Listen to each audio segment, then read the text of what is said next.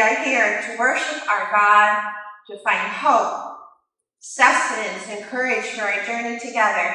The worship team and I are here to offer our gifts and our comfort to you in a time of great need. We know that God leads us and be with us, will never leave us. Today our worship leader is Susan Cryer. Welcome to Sunday, October 31st. Good morning. Good morning. The memorial service for Peggy Krim will be held today here at the church. Calling hours are from 2 to 3.30, followed by the service at 3.30.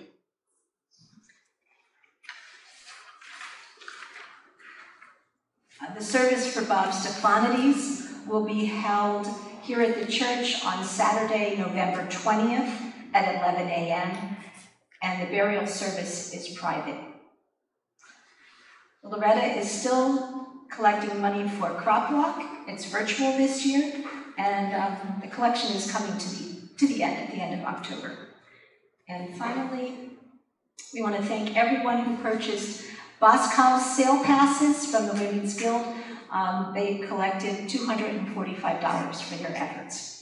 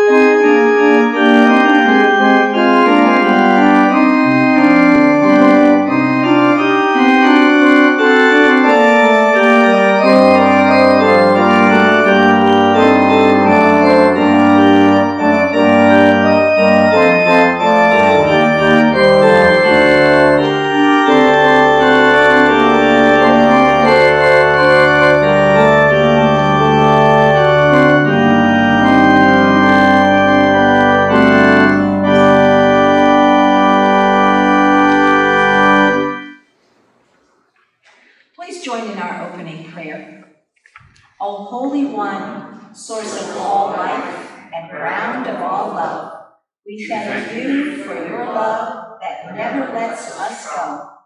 Thank you for the privilege of gathering in this space with these, your people, our friends and neighbors, to worship you. We do not come merely to open the doors of the church, but we come that our hearts might be open to you and to one another. As we worship you today, help us to respond to the call of love, to love you, our neighbors, and ourselves. May we be transformed from individuals to members of your one body. We pray for our nation that we be united as a people, tied to a single garment of destiny.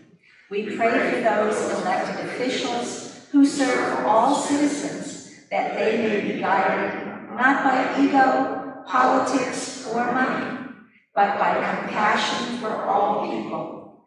Guide us as families, as a community of faith, as a nation to follow the path of love. Amen.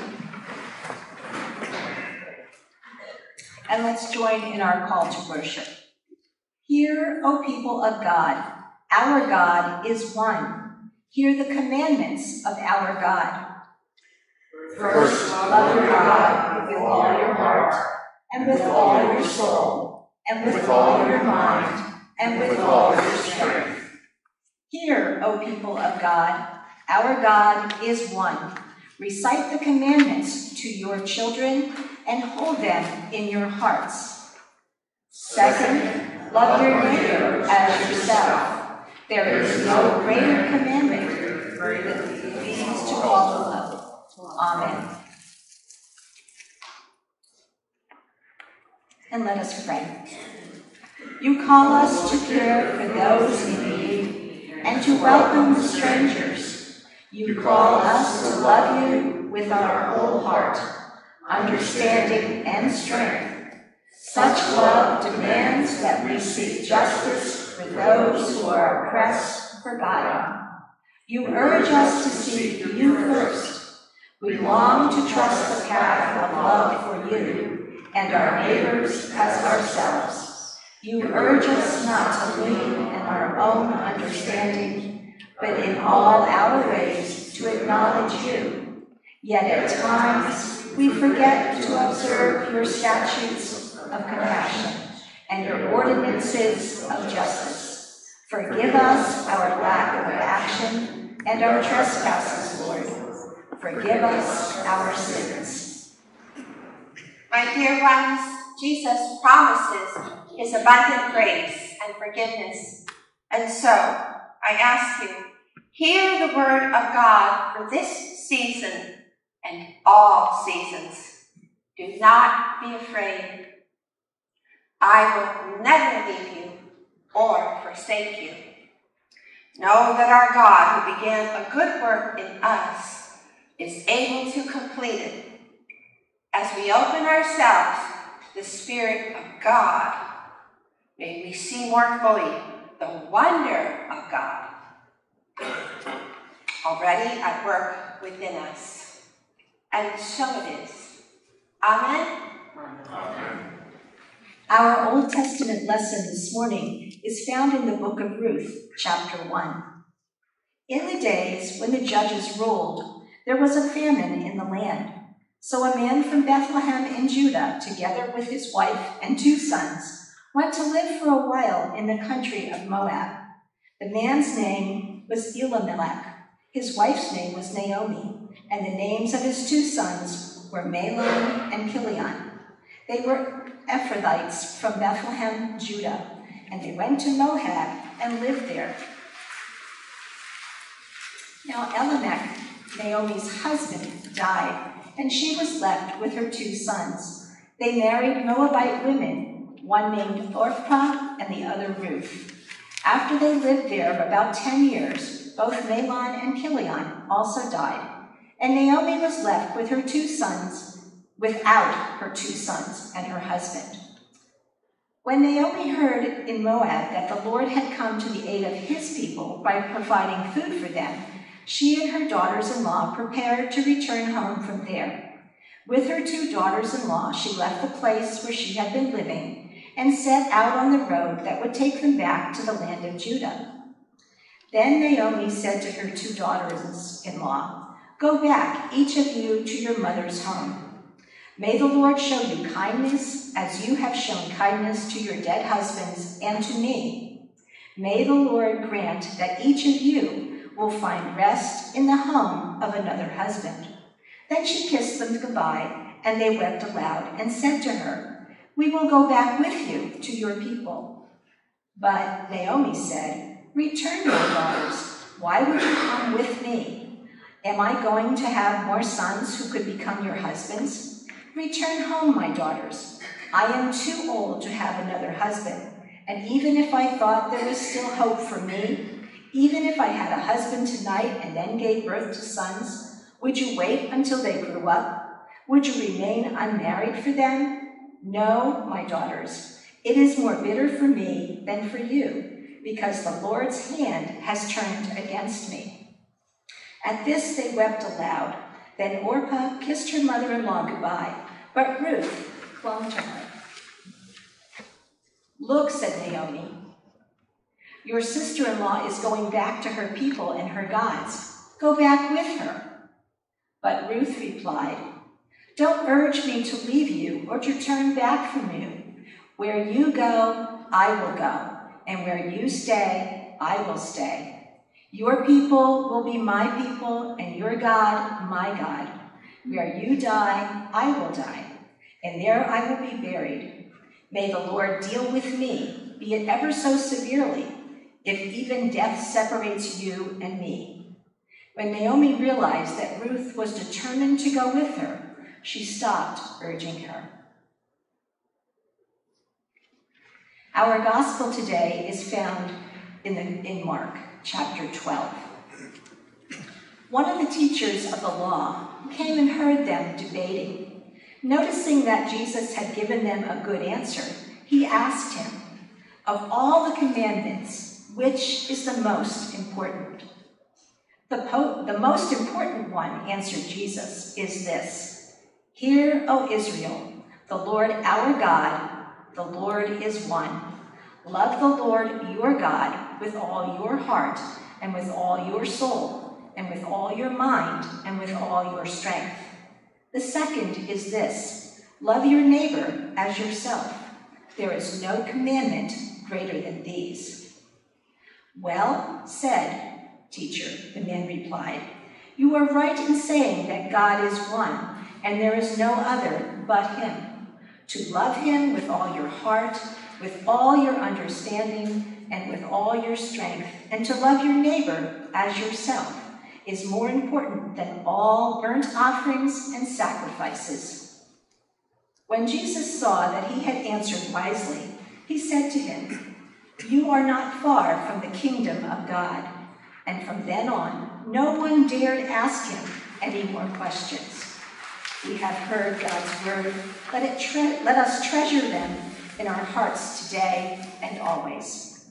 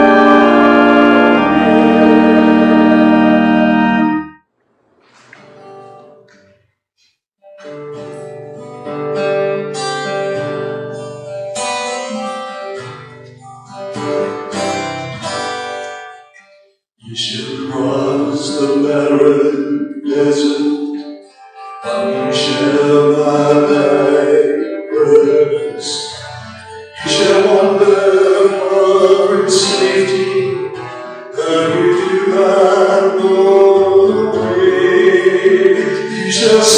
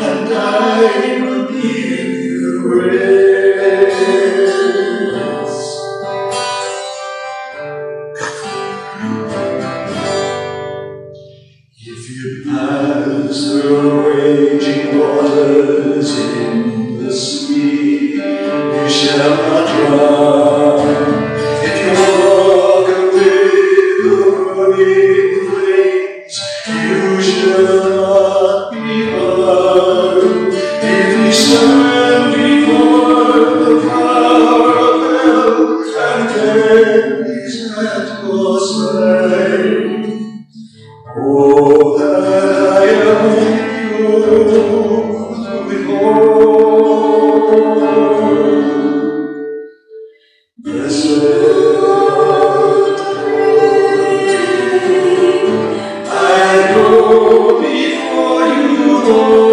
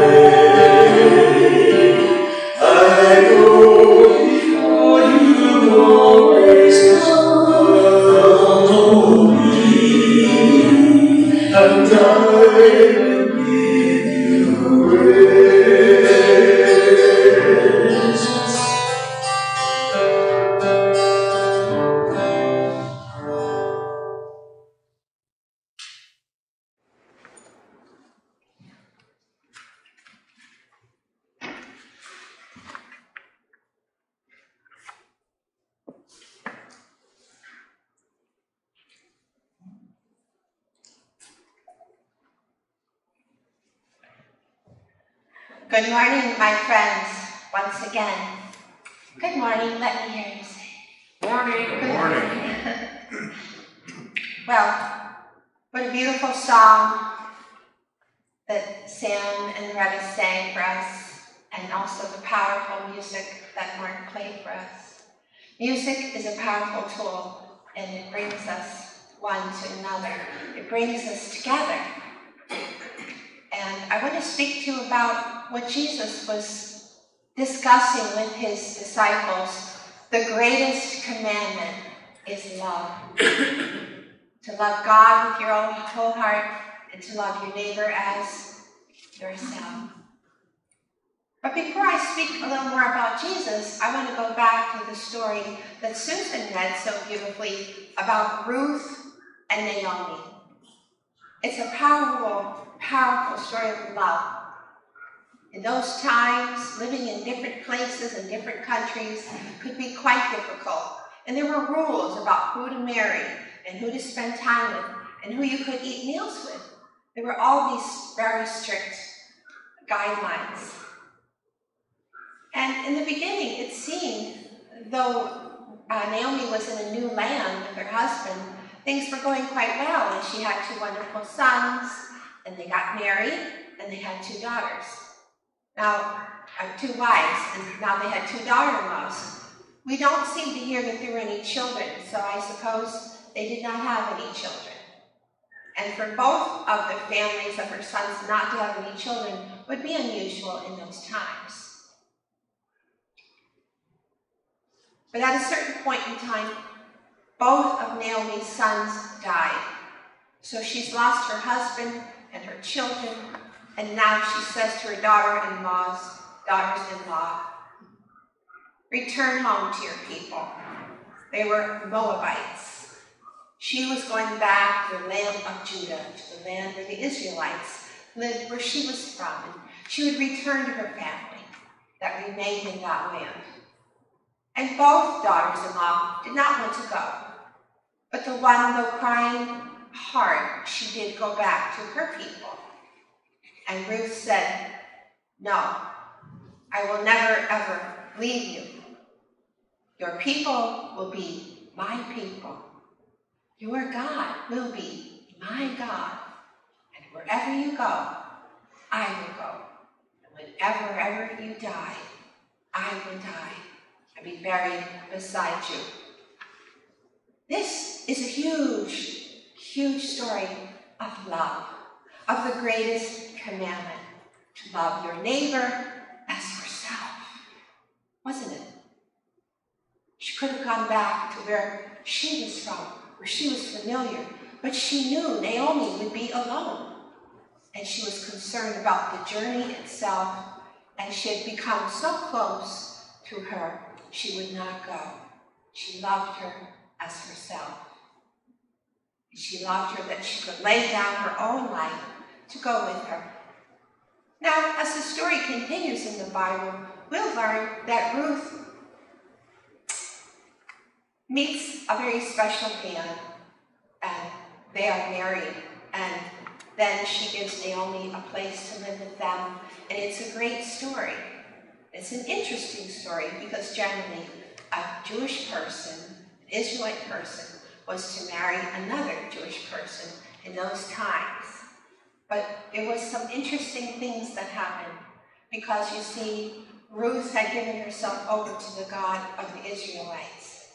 And so there were certain exceptions that were made because her great love and devotion showed some change within her, that she wanted to become part of this particular belief in God, in the God of the Jewish people. When she first went back, there, it's called gleaning, and when the people will cut the wheat, they leave a little bit there. It was something that was ordered to them in the religion of the Israelites to leave a little for those who had none. And you see, Ruth would go each day and, take a little and take a little. And it was said that she was still fairly young and beautiful. And Boaz noticed this lovely woman who kept following along and taking a few items wheat. And he said, Who is that? And why does she do this? And we'll learn more about her in the coming weeks. But her devotion and her love and her humility really was very special. And you know, we're a family here at the manger. We're friends, but we're part of the family of God, brothers and sisters. And we're called to love one another in the way that God loved us. We're called to love one another beyond what we can sometimes say is comfortable. Being a Christian is not so we can be comfortable. Being Christian is not just because we want to go to heaven.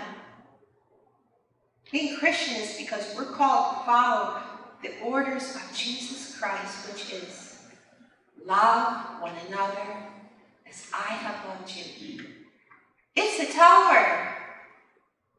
It's a very tall order.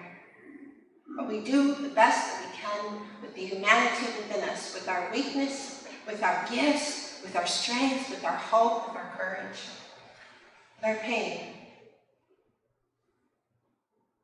Look at our family here, Dennis, April, and her husband Ted. They're here with us this morning, loving us the way God would love us. On a very difficult day, they came to be part of our family today. And Dennis doing his work, as he always does, to help make the video for those who can't come, to be present with us, to walk hand in hand together. The story of Ruth and Naomi is such a powerful story of friendship, of family, beyond blood. It's commitment. As Christians, we have a commitment to one another. It's not just a convenience or comfortability, it's a commitment. I will love you the Jesus loved you. Know, sometimes when I do that, people think, oh dear, that's just too much. but that's what he asks of us, my friends. Not just to our biological family, but to one another.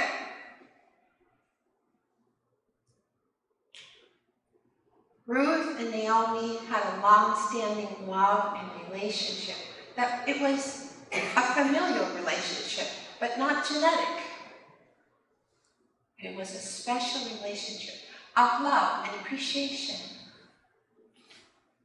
I understand that romantic relationships and marital relationships are very strong bond. But there are many kinds of relationships that we have that also can hold big power in our lives. And I do think that sometimes the world itself doesn't always give the value it should to a friendship. Friendship where we can feel safe, we're unconditionally loved, where we're valued and encouraged. And of course, that should be happening in any kind of romantic or marital relationship. But there are responsibilities there that occasionally affect the ability to love without condition. But a friendship should be without condition. And as Christians to one another, let us love one another without condition. When we have our weak points, our mistakes, our failures, we will. We are asked to forgive one another also. Jesus forgave, and we are called to that. And that's a big part of being a Christian. Forgiveness is huge. Courage, forgiveness, compassion. And throughout all my years of doing ministry, people ask me, how is it that you love again and again, even though perhaps you are hurt by someone or the world in general? And what I say to them is, I forgive in three different ways so that I can continue to love. I forgive others for what I wish they would have done differently. Now, it can take me a long time sometimes, but I forgive others. I try to forgive myself for my feelings because they are going to be there. I will never be, it will never be over. So I forgive others, I forgive myself. And this is a funny one that you might think, oh, but I forgive God for what I wish could have been different. I have to surrender and forgive and say, why did you let that happen? Why did that person have to die? Why did that terrible thing have to happen to that child? So, forgiving the other, myself, and God. Why? Is because love requires it. Love goes beyond. Love goes to an unconditional place where we're called as Christians to accept one another, even with our faults and our weaknesses, and accept God's plan, even though we may not feel we can or we want to. Jesus showed us that. He didn't want to die on the cross, but he surrendered it to his Father and said, Not your will, but not my will, but yours be done. And sometimes when we can't forgive, take the word and give it forth. Forgive, give forth. So when I can't get there and it's blocking my ability to love, I give it forth and say, You take it, Lord. I'll do my best to love one another while you change us. Jesus did not say, Change one another as I have changed you. He said to us, Love one another as I have loved you.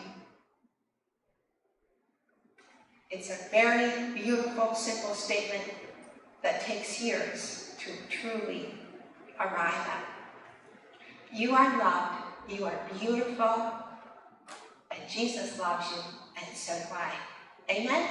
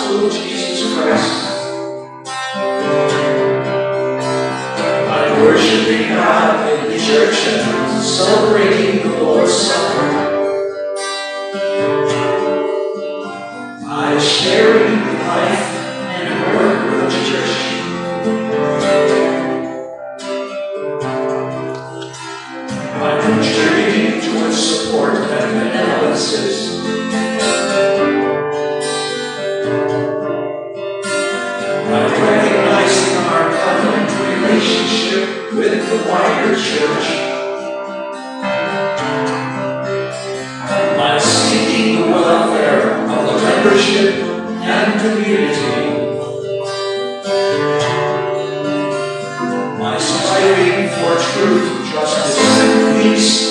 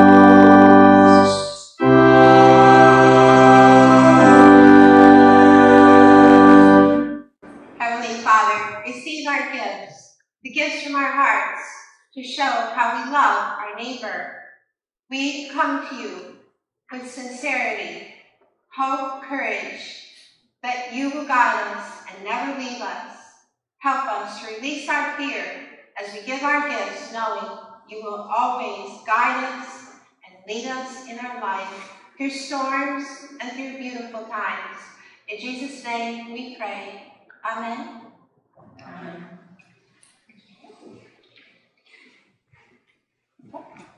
We learned that Mary and I, our mothers are from the same town, Freeland, oh. PA. it's a little tiny town, right? Thanks, Mary.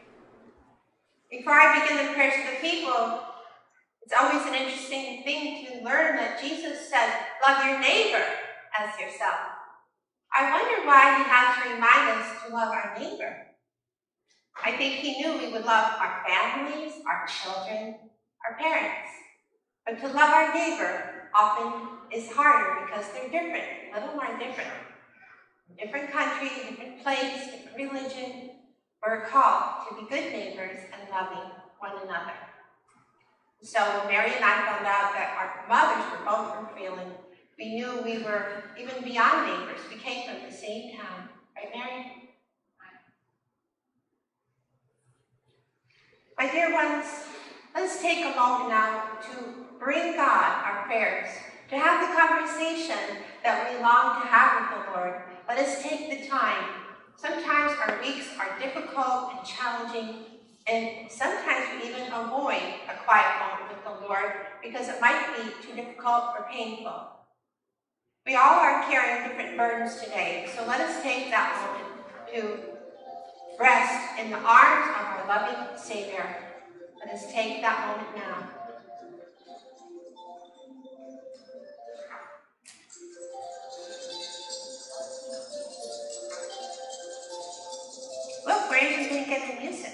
Let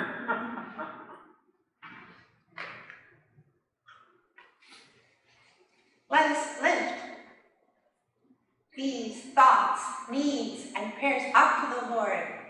Whoever is resting on your heart, God has placed there that you might be the one that loves them the way He does and ask for that help. And between you and God together, we can lift any burden from another. For God is the changer and the lover, and we also love with Him together. So we lift down in prayer all those who rest on our minds. Heavenly Father, receive our prayers. Bring the healings. Bring the hope. Bring the new beginnings. Bring the possibilities that you promise us. Help us to release our fear, our anguish, our sadness, our grief. Help us to know that you go before us just a breath away. Those who have left us in your company are walking with you as though on the road to Emmaus, just bit before us, making a way for us to continue on in safety and hope. And at this time we rest, we ask that you carry our beautiful Peggy Quinn, our special Robert Stephanides, up into the heavenly arms and gates of heaven.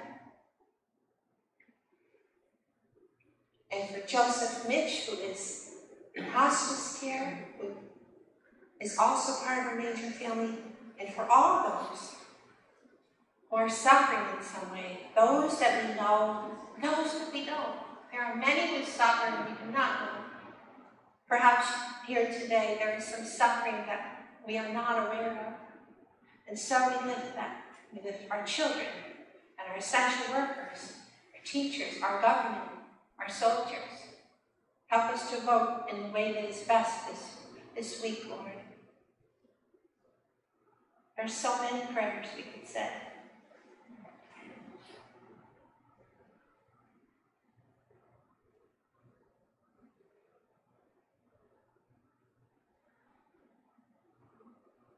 We pray for our children, our grandchildren, who are coming into this world and leading as young leaders a world that needs so much. Help them not to despair. Help them to know you go before them and you inspire them.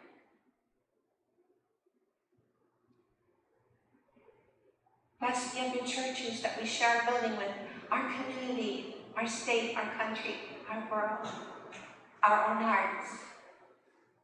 And we thank you now, Lord, for the forthcoming blessings.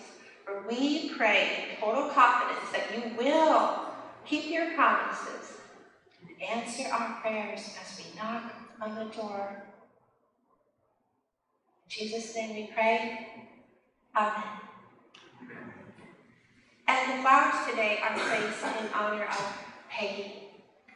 And Peggy helped me every week with the flowers here, especially throughout the pandemic, but throughout all the time I'm here, in here, in the back, and outside. So the flowers definitely are special from her, from heaven today, sending you love, sending you beauty, letting you know she's with you, she sees you in spirit, in the community of saints, in the community of saints. We are never separated from those whom we love, only, only physically. And now, my dear ones, let us say the Our Father together, the Lord's Prayer. Our Father, who art in heaven, hallowed be thy name. Thy kingdom come, thy will be done, on earth as it is in heaven. Give us this day our daily bread, and forgive us our debts, as we forgive our debtors. And lead us not into temptation, but deliver us from evil. For thine is the kingdom, and the power, and the glory, forever, ever. Amen. Do not be afraid, I am with you. I have called you each by name. Come and follow me, I will bring you. I love you, you are mine. I love you, you are mine. Go out and be the love that encourages. Be the love that Jesus asked you to be. Connect with Him. Stay close to Him and stay close to one another. Do not be afraid to reach out. Do not think that your suffering indicates a lack of faith. You are human. Reach out to one another, my dear ones. Reach out and you will find the hand you need. And now, that was your commission. I give you a benediction. I'd like you to stand for the benediction today.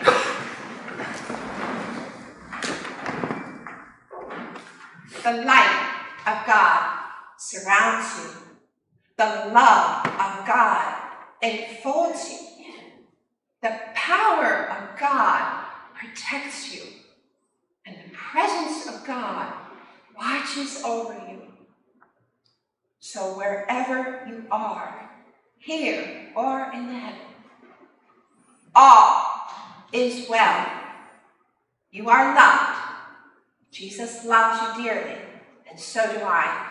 Go in peace now and serve the Lord. Amen? Amen.